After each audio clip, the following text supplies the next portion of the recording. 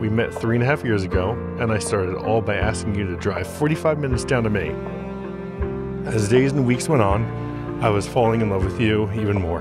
Girl, you stole my heart and changed it. Took all of my plans and rearranged. From the very first day we met, I knew you were going to be someone special to me. My whole life, I've been searching for what home feels like.